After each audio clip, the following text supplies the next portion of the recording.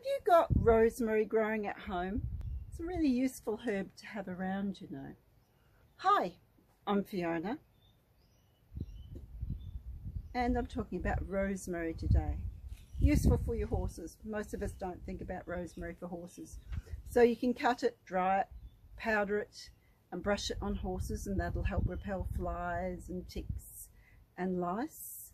Um, you can make it into a spray. So what you would do is an infusion, jug, bowl, put the rosemary leaves in the bottom, pour boiling hot water and that becomes an infusion.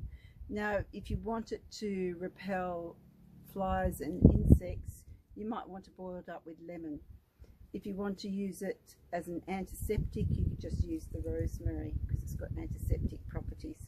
If you're using it as a fly repellent, you could add other herbs. You could add a bit of garlic, you'd add a few drops of neem oil, got a really strong scent, or you could add lavender oil, or you could simmer some, um, perhaps some wormwood, other herbs, herbs in there as an insect repellent.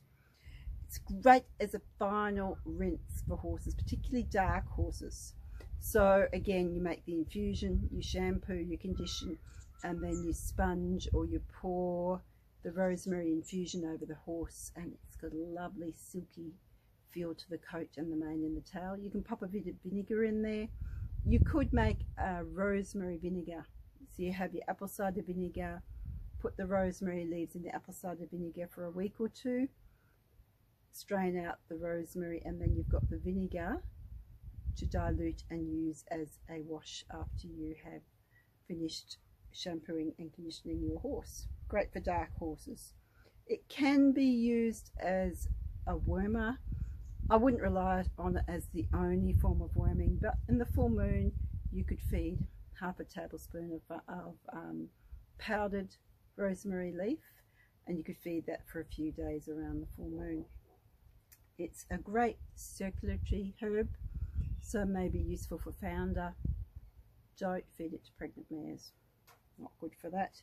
You could dry, use it dried around the stable. So, for example, if you're storing your saddle pads or your horse rugs in some sort of container, you could put the rosemary in there to try and repel the insects and to perhaps help with the mildew or any mold that may happen in there. So that's useful for that.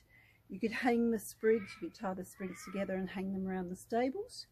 Wormwood and other insect repellent herbs, that'd be really useful for that. You could make it into an oil infusion for arthritis, either by itself or with other herbs.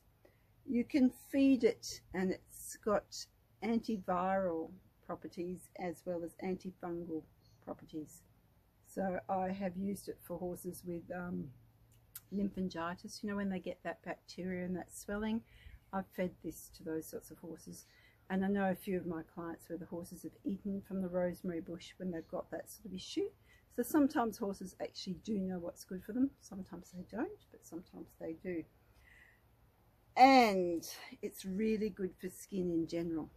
So if a horse's coat isn't really that good, the mane and tail, you know, could do with a bit more luster a bit of rosemary leaf in their feed if they'll eat it may help with the coat because it has been known to enhance hair growth. It grows easily in drier climates. Um, I grew this one from a little plant about that size a few years ago now.